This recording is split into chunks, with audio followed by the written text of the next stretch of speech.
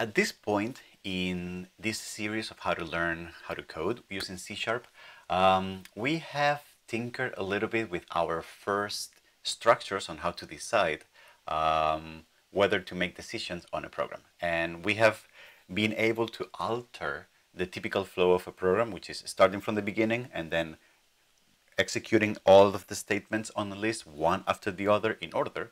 And we have been able to tweak that. We have been able to customize the flow of our program by using conditional statements, if else, if else, to choose which areas, which lines of code should be executed based on a certain condition. So we have been able to implement, imagine the program going one of the, we have been able to implement jumps between, um, between different lines of code based on particular conditions.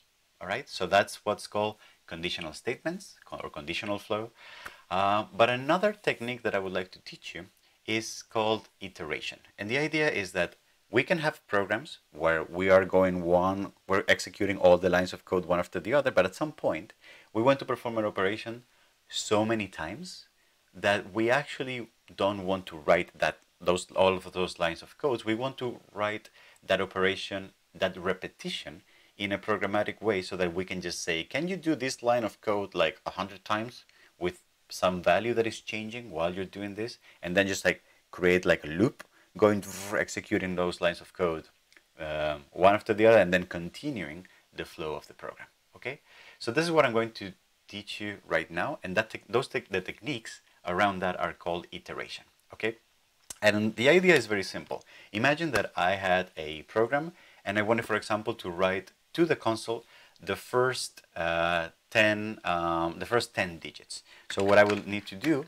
with what we know so far is say, well, I'm going to start by console write line in zero, then console write line in the number one, and so on and so on, so that I actually end up writing something like this, the first 10 digits. It will take me a lot to, to type, but at the same time, even if that's what I wanted, it's kind of not the best code because uh, if I were to say, well, now for some reason instead of 10, I need 15 or 25 or I need 100, I cannot really customize this better than, um, I cannot customize this better than just adding or removing more lines in the code manually. It's hard coded, all right? Everything is just written as explicit code, which is typically not a great practice. So if we can find a way to programmatically with an elegant structure say, take this line of code and repeat it a hundred times with this one thing, this one value, this one object, this one piece of data that is going to change with each one of those iterations. If there was such a structure, it would save me a lot of time of typing, but it would also make my program more programmatic, more customizable, right? Without having to actually modify the code. So this is what I'm going to teach you right now and I'm going to teach you several structures and several techniques to perform iteration and to perform repeated operations in a programmatic way when writing computer code. And the first one that I'm going to teach you are while loops. And so let's go to the next video and check how that looks like. So the first structure that I would like to teach you in order to perform iteration in a computer program are called while loops. And they're the simplest form of iteration that uh, most computer programming languages feature. Um, they're very simple and very easy to use, but they're actually not the most popular one. And I'm going to teach you this one right now because it's going to lead me to better uh, explaining how the actual most popular uh, way of performing iteration works internally. But uh, we'll get to that in a second. So before that, let's go back to the example that we were trying to do. Let's try to make, write a program that is going to print out to the console the first 10 digits, for example. Uh, this could be, this would be the manual way of doing that, but I, I, as, I'm, as I was saying before, I want a more programmatic, more customizable way of doing that. So the way this could work is, for example, we could start by defining a, an integer variable. I'm going to name it i, for example, and it's going to start at zero because we want to start uh, counting by zero. And then what I'm going to do is I'm going to write a while loop that is going to print all those 10 digits one after the other. The way while structures work, work is that you write them uh, like this. So you say, you start with the word while, and then you open and close parentheses, and you open a square, a curly bracket block. this now should start getting looking familiar. It's like if statements. Uh, they also have a word and they have parentheses for a condition that needs to meet. And then they have the block of code that will execute. So inside of parentheses, what I need to write is I need to write an expression, something that evaluates to true or false. And that expression is going to define what needs to be true for the while loop to keep executing. All right. So as long as whatever is written inside of parentheses is true, then this block of code will keep executing one after the other in cycles. All right. So for example, let's say if i is going to represent that number that I want to print to the console, then what I want to say is, well, probably while i is less than, for example, the value of 10, then I want to be printing to the console the value of i. Don't do this. Don't press enter. Don't execute this. Okay? Don't do this at home. because, and let me explain to you. Uh, while i is less than 10, then print the value of i to the console.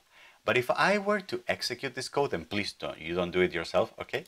I'm going to start this, and what you can see is that, um, I don't know if you can notice my console, you can see the cursor, how it's going, going, and how this is flickering. This is happening because right now, the console is printing 0, 0, 0, 0 constantly and infinitely, all right? And actually, my program, I don't know if you can notice, but it's not responsive it actually got um, it actually got trapped into what's called an infinite loop. And why is that the case? It was the case because in during the life of my program, I am executing this line of code so long as i is less than 10. But there is no code anywhere in my program that is changing the value of i so that eventually at some point it may actually not be less than 5 and therefore this block of code will stop executing. In a way, because i never changes, the program got stuck. The program got uh, blocked here in this block and is repeating it over and over again.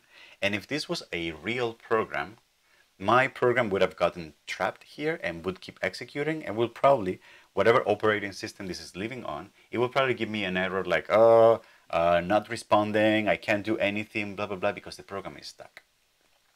It is an infinite loop, and this is one of the most common errors, or one of the most common um, problems when in, in, in real programming out there, right? So your phone, apps on your phone probably get stuck sometimes, you know, and that's because somehow they got, uh, the program got stuck on a for loop that it can't get out of for whatever reason, all right? So how do we fix this? Um, well, the idea is actually super simple. With what I need to do is I need this value of i to at some point be greater than 10. And if what I want is to print all the, to print instead of like a bunch of zeros, one after the other, I want to print 0, 1, 2, 3, blah, blah, blah. What I need to do is every time I print the value of i to the console, then I need to increase the value of i by one unit, all right? And we have seen before, if you remember from the operators video, we can do it in many different ways. So we can say i is going to be i equal plus 1. So whatever i was before, we can increment it by one unit. We can shortcut this to saying, can you increment the value of i plus 1? So plus equal 1. Or even for the particular case of having one unit, of incrementing by one unit, we, that has its own um, its own shortcut, which is i++. All right? So if we do that, then what happens is that we can execute this code. And now the code will start with 0. It will increment the value of i. It becomes 1. It executes this again. Uh, 1 is less than 10, so it prints 1. It, uh, uh, it increments to 2. 2 is less than 10, so it, it, it prints the number 2 i becomes 3, so, so, so, so, so, until a point where i is 9. i is still less than 10. It prints 9. And then i increments to the value of 10. And then the next time this is checked, i has the value of 10. At that point, i is not less than 10. And therefore, the program, the program keeps executing, it hits the read key, and everything stops. Okay? So this is the typical way you create um, simple iteration. You basically start, you usually initialize some value, okay? You typically use that value or some other value that lives in your program to check how, when this uh, while loop should stay alive.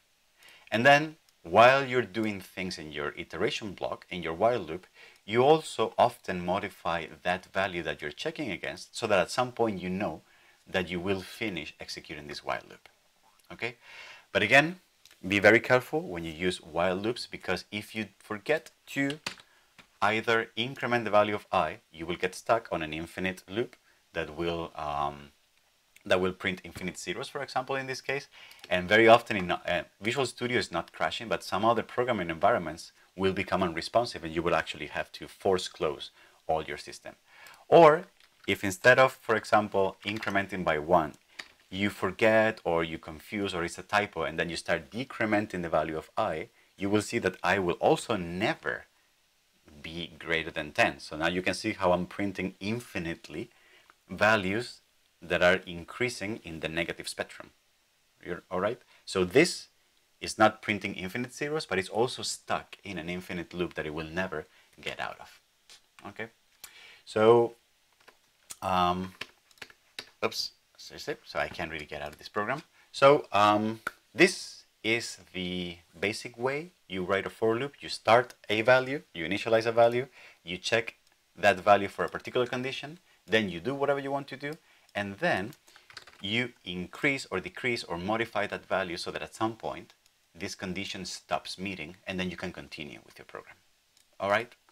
And then this idea, this structure is so, so popular that, um, so this pa pattern of initializing a value, checking that value and updating that value, it's so common and so popular that is what actually inspired the next uh, way of implementing iteration that I'm going to teach you, which is for loops.